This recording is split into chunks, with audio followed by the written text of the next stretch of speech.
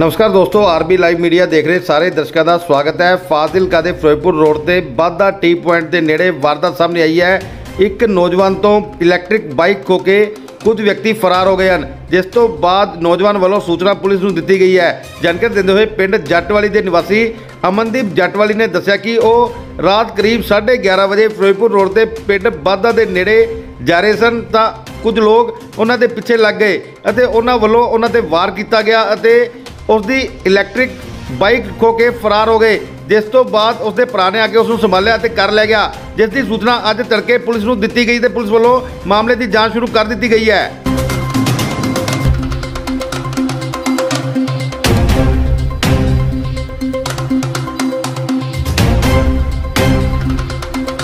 ਕੀ ਨਾਂ ਤੁਹਾਡਾ ਜੀ? ਅਮਨਦੀਪ ਜੀ। ਅਮਨ ਕੀ ਗੱਲ ਹੋਈ ਹੈ? ਸਰ ਮੈਂ ਨਾ ਰੋਜ਼ ਦਾ ਕੰਮ ਤੇ ਜਾਂਦਾ ਹੁੰਦਾ ਜੀ ਫਾਈਲ ਕਾ ਤੋਂ ਘਰਾਂ ਨੂੰ। ਹੂੰ। ਤੇ ਰਾਤ 11 ਵਜੇ ਤੋਂ ਬਾਅਦ ਬਾਅਦ ਦਾ ਟਾਈਮ ਹੈਗਾ ਜੀ। ਮੈਂ ਪਿੰਡ ਨੂੰ ਚੱਲਿਆ ਸੀਗਾ ਤੇ ਮੇਰੀ ਐਕਟਿਵ ਹੈਗੀ ਜੀ ਇਲੈਕਟ੍ਰੋਨਿਕ ਤੇ ਉਹ ਥੋੜੀ ਜਿਹੀ ਲੋ ਸੀਗੀ ਤੇ ਸਲੋ ਸਲੋ ਚੱਲੀ ਜਾਂਦੀ ਸੀ।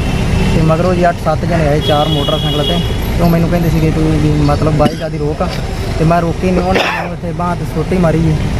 ਤੇ ਪਹਿਲਾਂ ਤਾਂ ਮੈਨੂੰ ਕੁਝ ਨਹੀਂ ਹੋਇਆ ਜੀ। ਬਾਅਦ ਚ ਉਹਨਾਂ ਨੇ ਦੋ ਜਣਿਆਂ ਨੇ ਮੇਰੇ ਤੇ ਹੋਰ ਹਮਲਾ ਕਰਤਾ ਇੱਕ ਜਣੇ ਨੇ ਮਗਰ ਤੇ ਇੱਕ ਜਣੇ ਨੇ ਇੱਥੇ। ਤੇ ਮੈਨੂੰ ਨਵਾਂ ਸੱਟ ਫੇਟ ਮਾਰੀ ਤੇ ਮੈਂ ਡਿੱਗ ਪਿਆ। ਮੈਨੂੰ ਉਸ ਤੋਂ ਬਾਅਦ ਪਤਾ ਨਹੀਂ ਲੱਗਾ ਮੇਰੀ ਉਹ ਐਕਟਿਵਾ ਜਿਹੜੀ ਸੀ ਲੈ ਕੇ ਚਲੇ ਗਏ ਸੀ।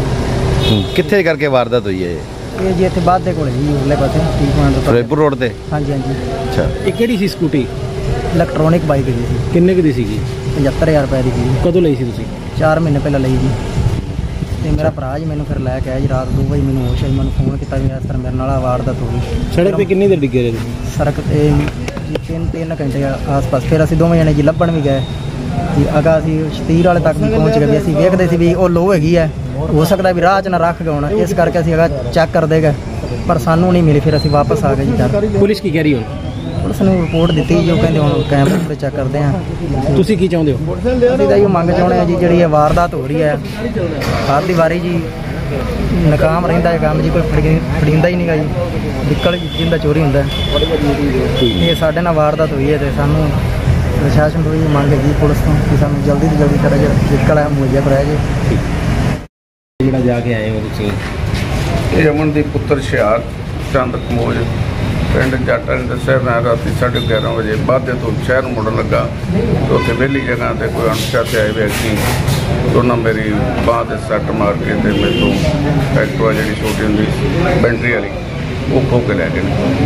ਉੱਥੇ ਮੌਕੇ ਤੇ ਪੁੱਜੇ, ਆਸ-ਪਾਸੇ ਚੈੱਕ ਕਰਦੇ ਪਏ ਜਗ੍ਹਾ ਖੰਡਰੇ ਤੇ ਕੈਮਰੇ ਚੈੱਕ ਕੇ ਕੈਮਰੇ ਦੀ ਮਦਦ ਨਾਲ ਇਹਦੀ ਤਫਤੀਸ਼ ਕੀਤੀ ਜਾਏ।